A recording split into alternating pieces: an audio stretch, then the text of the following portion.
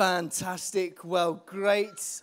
Great to be with you. Uh, hey, if you're joining us online, welcome. Uh, my name is Justyn, one of the team here, and uh, we're in the middle of a series on sex and sexuality. So nice, nice work. Good week to tune in. If you've not seen Johnny's message, uh, do you know a thing or two? He brought that last week. You need to kind of stop this, go watch that, and then come back. So I'll see you in about 56 minutes. Um, Yeah, we're going to go long again today as well, folks. So brace yourself for that. I've nipped out to the loo. You can't anymore as I've started, but that's all right. As long as I'm comfortable, that doesn't matter. Um, if you weren't here last week, Johnny uh, opened up the series for us. And I just want to give you a quick review of what he brought, and then I'll get into the content for today. Just know that I'm slightly socially awkward, so if at any point during this message you feel awkward, that's okay. You're in my happy place. So um, that's okay. We can just feel awkward together and we'll all be fine. So last week, uh, Johnny brought a message on sex and sexuality. A couple of key points. You know, we, we love people and we love the Bible, and you don't have to choose between the two. In fact, those who love the Bible the most should be those who love people the most, because that's what the Bible leads us to. Um, so, so that's point number one to grab. Johnny took us back to the garden where uh, God made Eve a suitable helper. Now, helper is not, you know, our helper, it's helper. Eve is described as a suitable helper, and that word help is a military term. It's a term that God applies to himself. It conveys a sense of rescue and salvation and help. So it's not that, you know, oh, bless Eve was made to kind of tag along. No, Adam needed Eve to be his helper. So there, there's an equality right back from the beginning. Uh, the other thing, though, is that Eve is a suitable helper. So if you, if you go into the Hebrew of that, it's two words, ke meaning like, and neged meaning opposite. Eve is a like opposite, a same but different, a next to but against helper. So, so that's kind of the marriage that God sets up between two people who are like each other, but also completely different from each other. And then that thought that two who are the same but different can become one kind of traces through the Bible. So you get to Matthew 19 where Jesus is asked about divorce, and all he needs to say is the two have become one. But what he says is he, before he says that, he goes back into a further text in Genesis and says, Do you not know that in the beginning God made them the same but different? Therefore, the two become one. Paul picks up this thought in 1 Corinthians 6. He, he, he pushes it to its final conclusion in Ephesians 5, which is I'm talking about Jesus and the church. That actually all of this points to two who are the same because one is made in the image of the other but two who are different because God is so far above humanity, and yet at the end of time they come together as one. So that's, uh, in a nutshell, some of the stuff that Johnny ran through last week. And so that leads us then to at Renewal to say, as a Christian community, we would hold what would be known as a traditional sexual ethic which would reserve sexual activity to the marriage bed of a one man and one woman. And that's where we would say, with a traditional sexual ethic, that that's why sex is reserved for. Having said that, the other thing that is abundantly clear from Genesis that nobody on either side of the argument will debate with you is this that everyone is made in the image of God. Amen. Everybody. Those who hold a traditional sexual ethic, those who hold what would be called an affirming sexual ethic, those who don't have any sexual ethic, although I actually think everybody has a sexual ethic, um, but everybody. No one person is made less in the image of God than somebody else. And to treat somebody who holds a different belief or a different behavior or a different lifestyle to you, to treat them as less than you is a sin. Because everybody is made in the image of God. So that's a quick review of last week. But here's what I want to say and just again affirm everything that Johnny said. You have to do the hard work for yourself. Okay? Do not just take what we give you from this platform and go, yeah, now I know what I think about that, off I pop. Because the next time you're confronted with someone who thinks differently or thinks more convincingly, your belief will change. So you need to read, and you need to study and you need to read the Bible. And I would suggest you need to read some books and get into the nuts and bolts of this conversation. Like Johnny said last week, People to be Loved by Preston Sprinkle is outstanding. And it's really, really, really accessible. You know, some books you have to read with a dictionary. Okay, this is not one of them. It is very accessible. What's brilliant is that he will give you kind of a tour of all the arguments, both for and against, okay, and help you understand that. But again, he would hold a traditional sexual ethic. If you have not read anything on this subject, you need to grab this from the foyer before you go home and have a look at that. If you're a parent or a teenager, Living in a Grey World is also by Preston Sprinkle. Again, highly recommend that you grab that. If you want to know uh, where, in terms of culture and our current society, sex is at and how we as the church can respond, that's a little bit of what I'm going to do today. But again, I cannot recommend more A Better Story by Glynn Harrison. So, if you've not read anything, start with People to Be Loved. If you want to ground it a little bit more in our current culture, have a look at A Better Story. There's another book that we can't get hold of for you, but you can find it from your convenient next day online book delivery service. And there's some second-hand copies on there as well, so you can get it slightly reduced. Um, it's a book called Space at the Table. It's conversations between an evangelical theologian and his gay son by Brad and Drew Harper. Um, it's, a, it's a difficult read. Um, I, I, cried quite a few times in it, actually. But, but maybe that's you. Maybe you're holding a traditional ethic, but there's somebody in your family who you love who isn't. Or, or maybe uh, you're gay and you have parents who are holding a traditional sexual ethic or family members who hold a traditional sexual ethic, what that book will do is just help you see how you can retain relationship and love and respect. It is one of the most honest and yet I think dignified things I've read on this subject. I highly recommend Space at the Table to you. So, in light of all of that, my message this week is so now you know, now what? Okay, so now we know, now what? So, okay, so we understand what we believe and why we believe because we've done the hard work ourselves and read the books and thought and prayed and listened to Johnny's sermon again and again and again. So now what? What do we do now? And what I want to say is, I want to speak to kind of one particular type of audience today, not to exclude anybody else, but I, I, want to be upfront about what I'm doing and help you understand where this is going. So my message is, is kind of for Christians who hold the traditional view on sexual ethics. That's who I'm speaking to today because that's kind of who we are as a church at Renewal. If that's not you, you are very, very welcome here. But that's who I'm speaking to because the challenge is so, what do we do next? So, if that's not you, I hope that something of this message encourages and challenges, and you get something from that as well. But um, maybe face to face conversation is a better way of working your way forward with us here at Renewal. But today, I want to speak to those Christians who would hold a traditional view that marriage is reserved for a, the sex is reserved for a different sex marriage, man and woman. If we want to hold that, so what do we now do? I want to introduce one thing into this conversation, though, because I've noticed something. So I was at Stratford last week speaking, and then I've caught up with quite a few people uh, who were here uh, at Solihull last week and talking to lots of people around the church. And, um, well, this is a big conversation, isn't it? Goodness me, this has provoked a bit of interest. God, I mean, people do listen when we preach. And it feels a bit weighty, doesn't it? And I think that's maybe because you're wanting perhaps one of three things. You're either wanting for us to come out and affirm everything that you've ever believed. Maybe you want us to kind of get with the times and uh, just kind of affirm what current society would say. Or, or, maybe you're looking for, you want to kind of hold a traditional view, but you want everybody still to like you and nobody to call you, you know, a bigot or hated. So give us the magic bullet that will get us out of that little nugget. And I want to say, whatever you're looking for from this series, our intention is to disappoint everybody.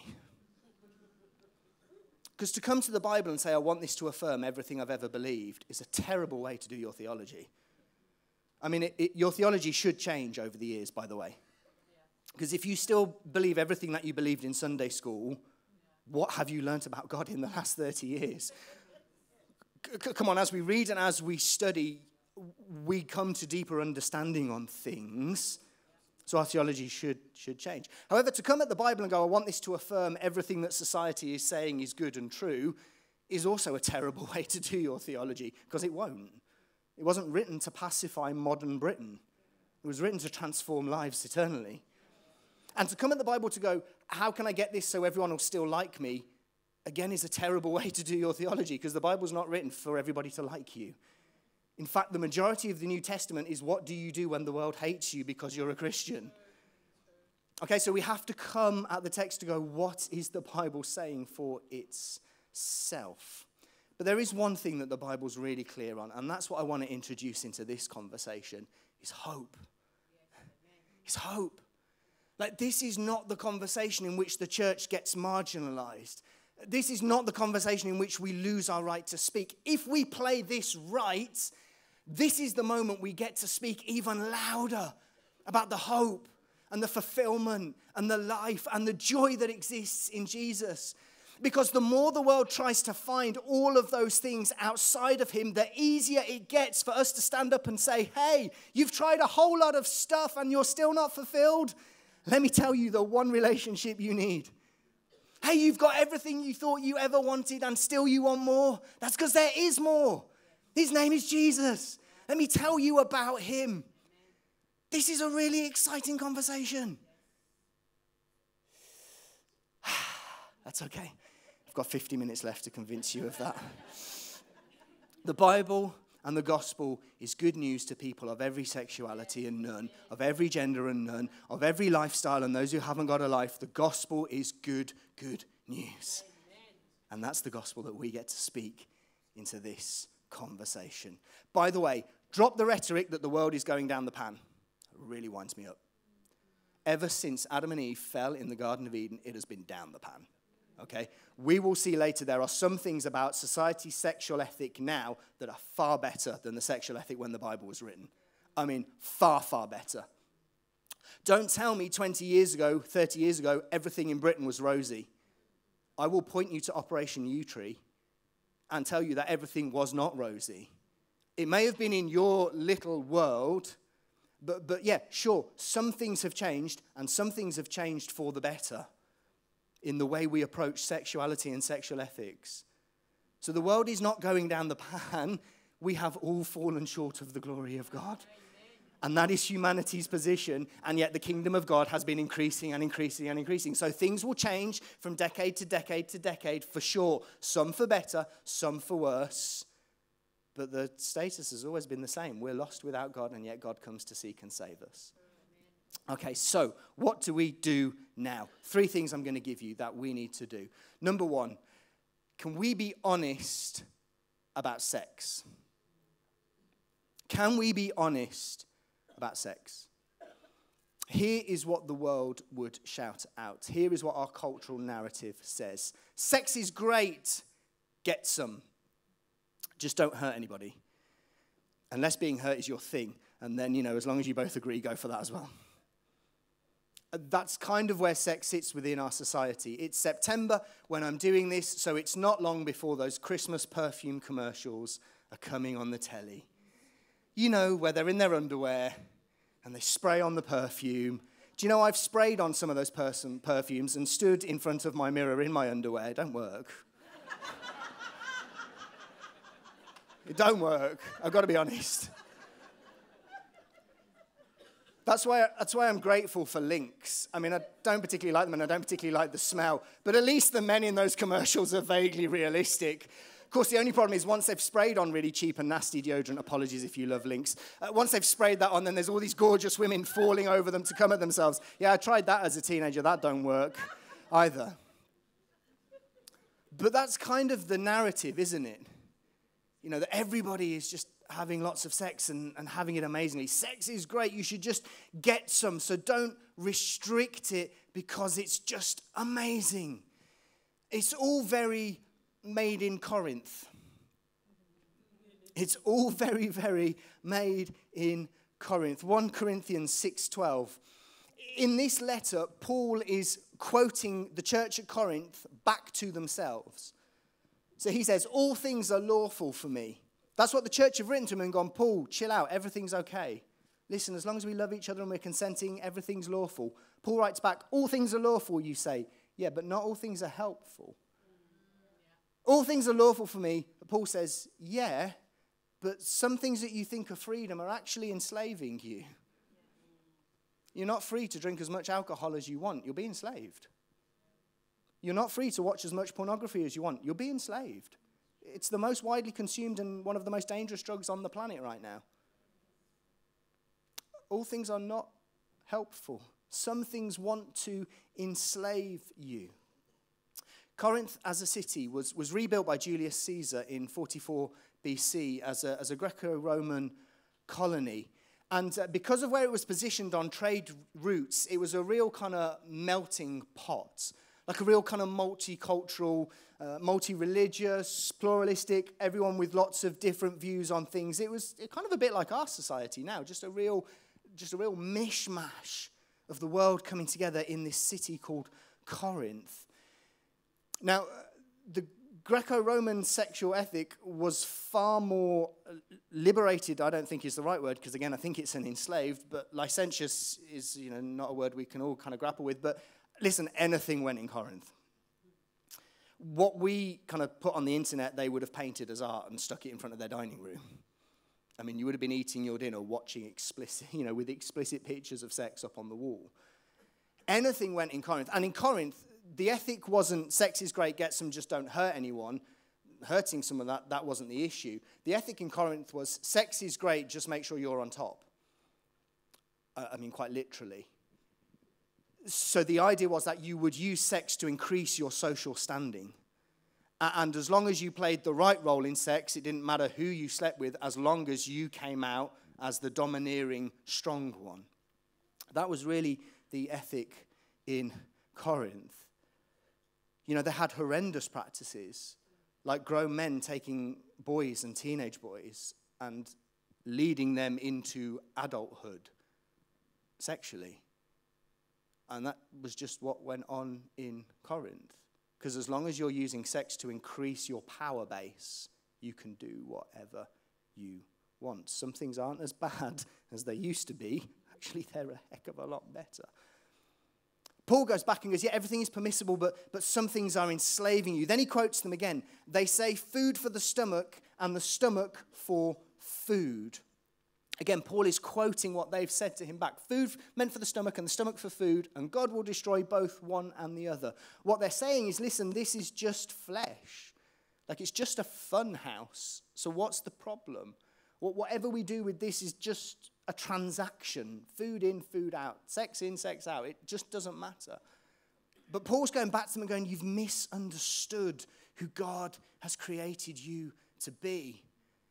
This thing is not just kind of a pleasure house for you to have as much fun in as you like. That will not lead to your freedom.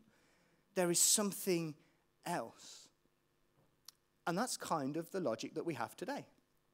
As long as you're having fun, as long as no one's getting hurt, what does it matter?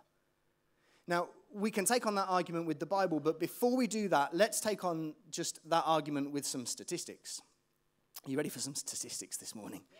Oh, we love statistics. They're very good. Natsal, the National Survey of Sexual Attitudes and Lifestyles. The British National Survey of Sexual Attitudes and Lifestyles are among the largest and most detailed scientific studies of sexual behavior in the world, according to their website.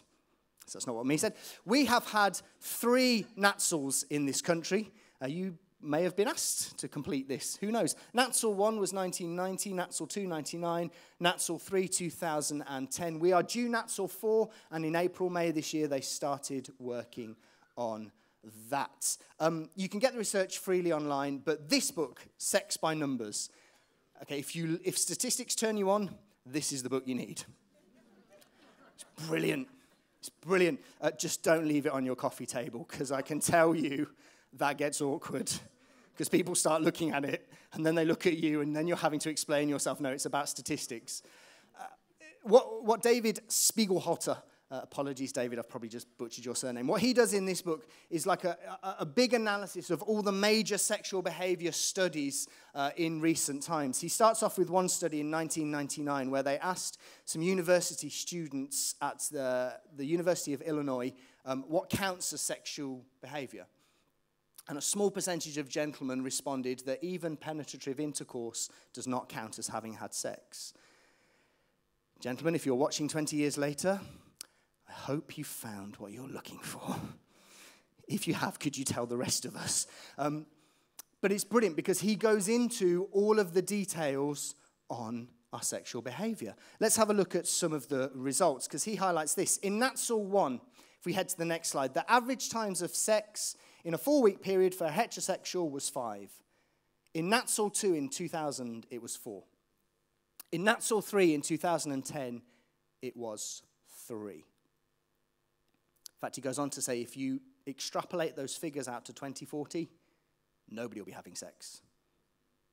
Now, he kind of does it in humor because, of course, people probably will be. But the, the cultural narrative of everybody's doing it, go get some, is not true. we we're having less sex than we used to have. In fact, your parents probably had more sex and better sex than you did. So there's a nice thought for you. Okay, but, but can we be honest?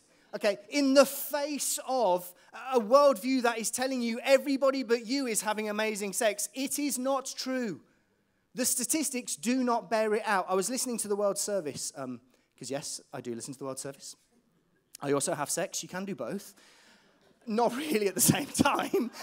I don't know, again, depends on what your thing is. Uh, you know, you, you uh, on the, oh dear. Listen, this ain't the most embarrassing I'm going this morning, all right? So if you were awkward now, it's about to get a whole lot worse. 28th of August this year, you can find it on their podcast app. They did a whole um, documentary, Why Are We Having Less Sex? in every developed nation in the world where we're completely free, where we've thrown off restriction, where we've got all the resources to be whoever we want to be. Every nation is having less sex. The cultural narrative is not true. 2014, we're, we're hoping they will do a review, uh, a follow up. But The Guardian ran this headline The nation has lost some of its sexual swagger. So that was the, the headline in The Guardian because the Observer newspaper had run two surveys, one in 2008 and repeated it then in 2014. And what they found is that in those six years, we had taken a nosedive in self reported libido, performance, evaluation, and satisfaction of our sex life. In some areas, 30% drop. Actually, we're having less sex, we're less confident about it, we're less satisfied with it. The cultural narrative, it's great, go get some, everyone is, it's not true. You don't even need to believe the Bible. It's not true. Here is my issue, though. If that's what the world says, here is what the church says sex is great, get married. And for goodness sake, don't get caught having sex before you do. It's not good enough. Because our issue is we collude with the world in making sex a God when that is our narrative, when the moment two people start talking to each other, we're like, oh, when are you getting married? It's because we're too polite to say, please get married and then you can have sex, just don't do it beforehand. But what we do is collude with the world and perpetuate the myth that sex is ultimate and sex is amazing and everybody's having it, so you should get married, so you could too. It is not true. We have to have a better response. We have to be honest about sex. According to the Office of National Statistics, 50.5% of our population is married, which means 49.5% aren't.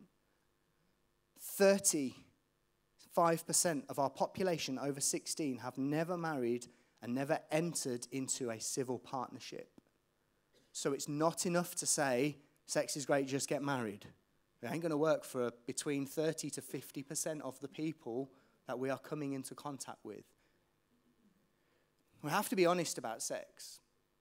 Because before you get married, particularly if you hold a traditional sexual ethic, you kind of believe that when you get married, it's just going to be this kind of pleasure playground, that all your desires will get met straight away.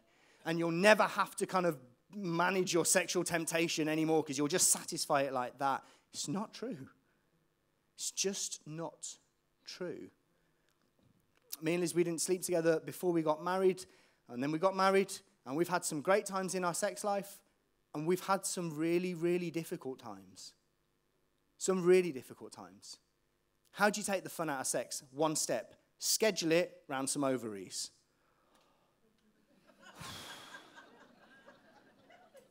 it's that time, dear. I'll be up in a minute. I'm just listening to the world service. and after that, I'm going to read the Times educational supplement. Oh.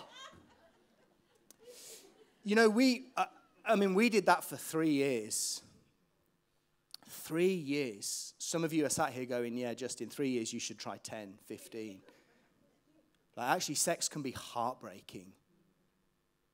Actually, it's not a fulfillment of all of your desires. Actually, it can get really, really difficult. In the middle of that season, I got put on medication which affected my sexual functioning.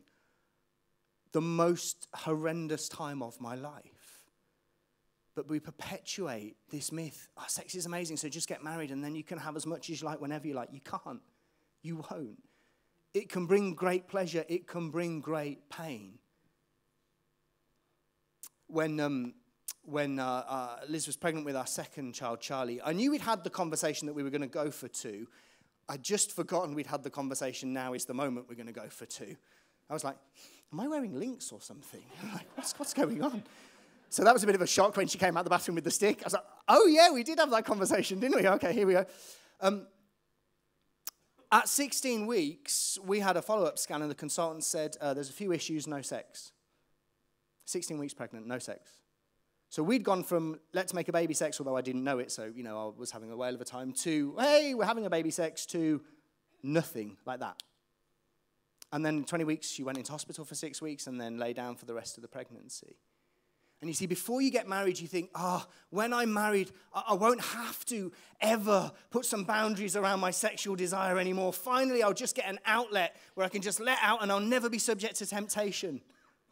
It's nonsense. Like in that period, I had to pull back from so many of my female friends because I was like, I am just wide open right now. This is just a very difficult sexual, emotional, psychological time in my life when you get married, it's not the answer to everything that you think it will be. And when all we say is sex is great, get married, we collude with the world's narrative that sex is ultimate. It's not. Nearly every time Paul in the Bible says, hey, you should get married, he also caveats it with, I think you probably shouldn't. So we have to change the narrative and be honest about sex and marriage. It may bring a level of fulfillment to you, it will bring a level of pain as well. Two things that aren't in heaven, and it troubles me sleep and sex. And as a, as a parent of young children, it troubles me that it's often a choice between those two things. But sleep and sex aren't in heaven. Now, we might be able to nap. It just says there's no night in heaven, so I'm holding out that afternoon naps will exist. but there's no point holding out for sex because Jesus says in Matthew 22 they neither marry nor are given in marriage. And when we treat sex like it's ultimate, we deny the Bible because it's not. Actually, Jesus says there's something better. Now, when we look at that, we go, well, what could be better than that? Because we buy into the world's narrative that sex is a god and everyone's getting loads. C.S. Lewis says this like a six year old boy who's eating a chocolate bar has no comprehension, or should have no comprehension, that sex even exists and what it might be like like he will one day find out there is something that will make him drop the chocolate bar and run to the bedroom. One day we will find out that there is something so more fulfilling, so more pleasurable, so more satisfying that we will drop our physical desires and run to Jesus. And we don't understand it now. But we must not believe that sex is ultimate because it is not. There is something far greater coming. Revelation 19, 6 to 8. Then I heard what sounded like a great multitude, like the roar of rushing waters, like loud peals of thunder, shouting, Hallelujah! For our Lord God Almighty reigns. Let us rejoice and be glad and give him glory. For the wedding of the Lamb has come, and his bride has made herself ready.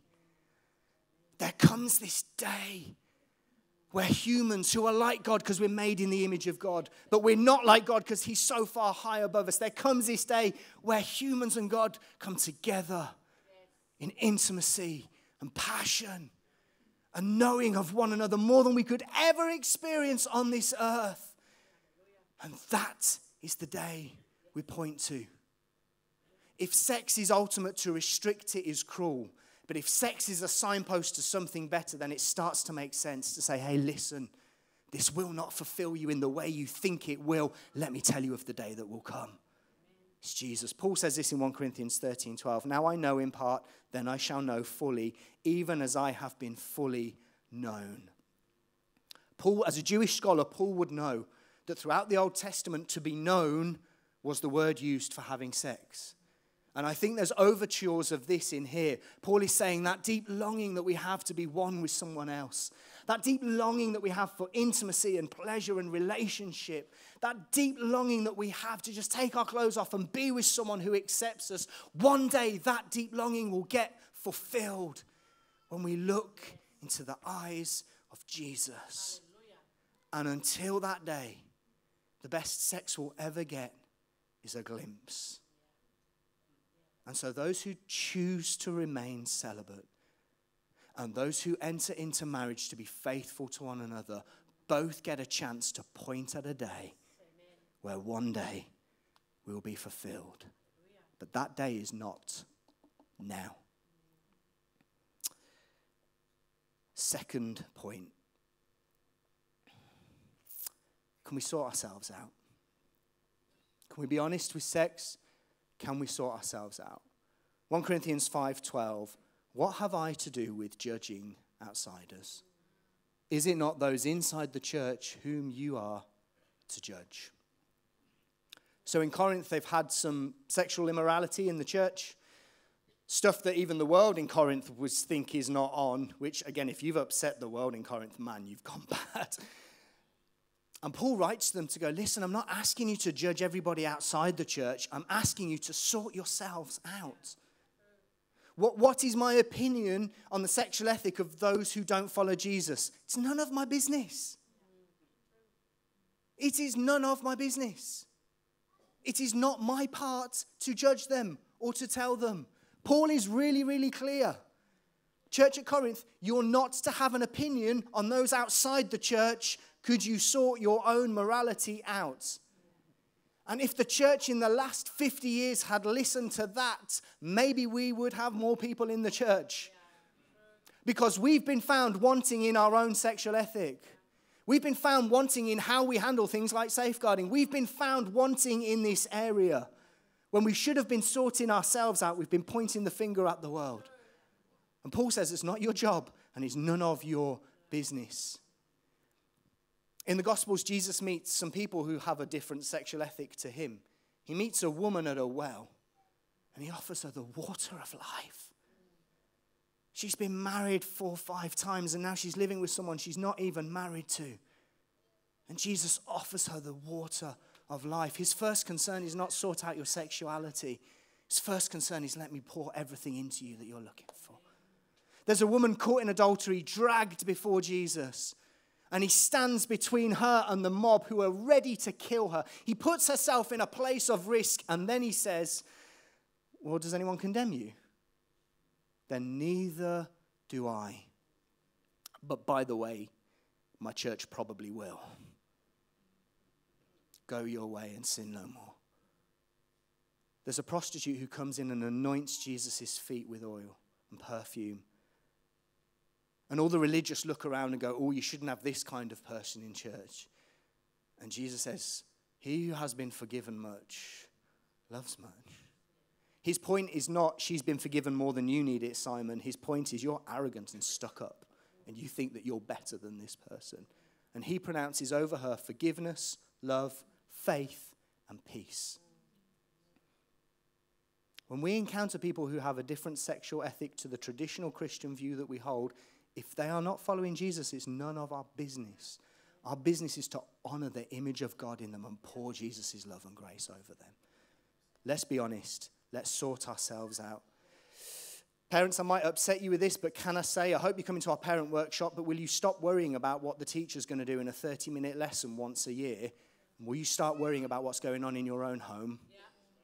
Because what you model in your own home is what your child will take forward. So, how are you modeling love and honor? If you're not with the other parent, how are you speaking respectfully and with dignity towards them? How are you prioritizing the house of God and showing them what it means to be part of a Christian community? How are you being open and allowing them to come and talk to you about anything without judging or pushing them away? How are you having different people coming in and out of your house to model the different ways in which you can follow Jesus? Because that's the stuff that matters. I'm not saying don't be interested in what happens at school. I'm just saying if you want to get het up about something, how do you speak to your spouse? How do you speak to your kids? How do you speak to those around you? That is what they are looking for. As Preston Sprinkle points out, if you believe that a traditional Christian sexual ethic is what Jesus wants, then you should be surrounded by people who don't hold that ethic, because that's what Jesus did. So, actually, to be a Christian holding a traditional sexual ethic means we should know more people who don't hold that ethic than if we didn't, because that's what it means to be biblical. Final point. Can we be honest about sex? Can we sort ourselves out? Can we return to the gospel? Okay, let, let me see like I'm deviating away from the subject matter a little bit, but we'll loop back in again. I fear this is what we now believe. As for me and my house, God will serve it. I fear this is what we believe because we pray for a house and a spouse and a car and a job and a career and health. And we, we feel like if we live a good life, then God is just there to fulfill everything that we want Him to. But that's not the gospel. That is not it. Matthew 10 38, Jesus says this Whoever does not take his cross and follow me is not worthy of me. Whoever finds his life will lose it, and whoever loses his life for my sake will find it. We've bought into the I world where everything is about me.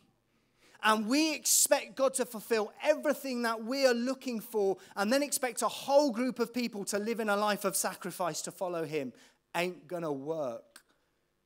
If your marriage is not a place of sacrifice where you serve and give, if your singleness is not a place of freedom, but a place of sacrifice where you serve and give, if you are not laying your life down and denying yourself, how dare we ask those of a different sexual ethic to do the same? Let me ask you this Do you think God demands more of anybody? Do you think those who have same sex attraction or issues with uh, what they feel their gender is, do you think God is asking them to sacrifice more then he's asking you. Because I don't think he is. The issue is we've built a church community in which it's difficult for those people to come into, and we've bought into the lie that says God should fulfill everything about me. No, you lose your life. Everybody. Everybody is called to lay down their lives. It's difficult to ask other people to if we are not. Derek Prince's book, The Grace of Yielding, in, the, in a chapter, Denying Yourself, he says this But what is your cross? I heard a fellow preacher say it this way Your cross is where your will and the will of God cross. He goes on to say, Your cross is the thing on which you can die. It's the place where you lay down your life. Your cross is the place where you make the decision not to please yourself. Every single one of us is called to radical obedience and sacrifice. And we have to make sure that we don't build a church community that puts a bigger burden on certain types of people because Jesus doesn't. All of us are called to lay down our lives. So we come towards a close. There's a, a letter that exists from the first century. Uh, called the Letter to Diognetus. It's not, it's not in the Bible. It sounds a bit like the Bible in certain places, but it's, it's a disciple of Jesus writing to somebody, trying to explain who these Christians are. I'm going to read a portion of it to you. He says this For the Christians are distinguished from other men neither by country nor language nor customs which they observe for they neither inhabit cities of their own, nor employ a peculiar form of speech, nor lead a life which is marked out by any singularity. What he means is they don't have a special club and a special language that only they go to. It's a bit difficult. The, the course of conduct which they follow has not been devised by any speculation or deliberation of inquisitive men, nor do they, like some, proclaim themselves the advocates of any merely human doctrines. But inhabiting Greek as well as barbarian cities, according as the lot of each of them is determined, and following the customs of the natives in respect to clothing, food, and the rest of their ordinary conduct, they display to us their wonderful and confessedly striking method of life. They just live like normal people, and yet they live a wonderful, striking form of life. Every foreign land is to them as their native country, and every land of their birth as a land of strangers. They marry, as do all. They beget children, but they do not destroy their offspring. They have a common table, but not a common bed.